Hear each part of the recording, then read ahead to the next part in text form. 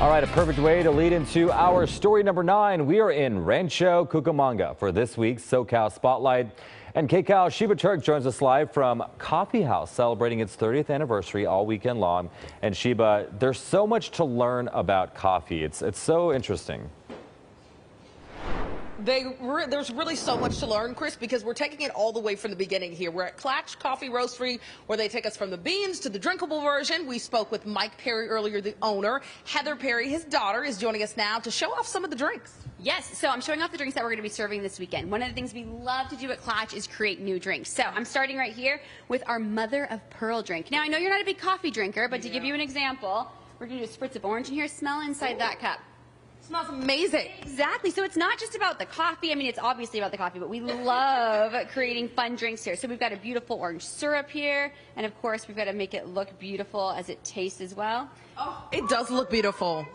Yes, so we're going to be serving our mother of pearl this weekend. We've also got this watermelon cold brewita. No alcohol in here, but lime juice, watermelon, our delicious cold brew, our WBC Nitro, actually.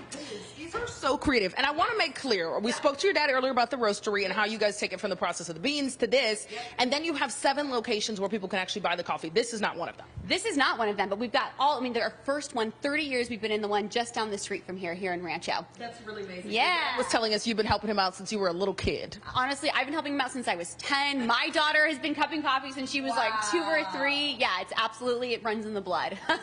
okay, so what else are we making to celebrate this 30th anniversary? we're kicking off, come on in, Luis. We are kicking off National Coffee Day with coffee and cocktails tonight. So, Luis, tell us what you're putting in the picture. We're going to yes. make a Klatch Mai Tai. To awesome. kick off our happy hour tonight, we're going to be making a cold brew cocktail which has orgeat syrup, lime juice, mm -hmm. peach liqueur, orange liqueur, okay. And some dark brandy. Okay, so no one's going to be standing after this one. Absolutely not. Can people join in the celebration? Do they have to get tickets? Absolutely. So we've got tickets on sale. You can buy tickets at the door. It kicks off tonight with our happy hour, 4.30. Tomorrow, you've heard of a wine walk. So we're doing a coffee crawl here. So all seven of our locations are going to be here making, serving drinks that they've come up with within the store. We don't serve any of these drinks in our store. So the only way to get these is come party with us this weekend that here at the Roastery. So cool. Where can people get tickets? KlatchCoffee.com. Um, we've got tickets for everything on sale. And if you want the ultimate Pearl experience on Sunday, um, you get access to all three days. Nice. Okay, Louise, what you doing now? And the best part about this drink is our homemade coffee liqueur layered right on top. These are so beautiful.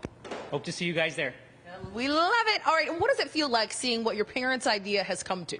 honestly, I, it's one of those things where my dad and I talk about it. I don't think either one of us ever envisioned being where we are today. You know yeah, what I mean? We're opening yeah. a brand new roastery down the street, which is 16,000 square foot, and it's just, it's crazy. We're very blessed to be supported by such a great community, a coffee community, the community of Rancho for the last 30 years. It's really been great. Well, Heather, this is so special. Thanks for taking us behind the scenes, and Louise, thanks for these amazing drinks. I'm going to send it back over to you, Chris. All right, Sheba. Yeah, so many different types of drinks. I had no idea, but we saw behind you there was all these awards. Which one are they most proud of, really quick?